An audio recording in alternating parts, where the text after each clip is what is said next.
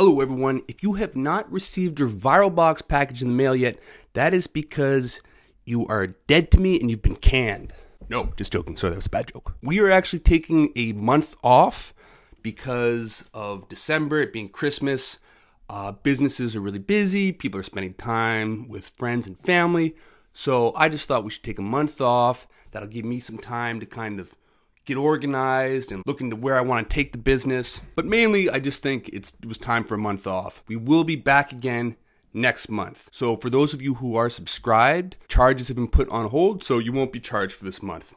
Next month, it will resume. Other than that, it is December 8th, which means you have six more days to make it into the top five.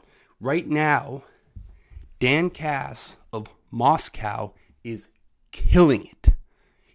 He he's he's got like 60 likes or something on YouTube, which means he's well ahead of the crowd. So if you don't catch up to him, you're letting the Russians win.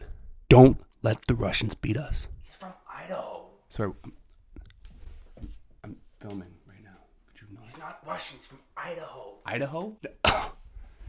uh, actually, no, you are. At least that's, at least that's what everyone says. So don't don't. Idaho, USA. Oh, oh, he's from Moscow, Idaho.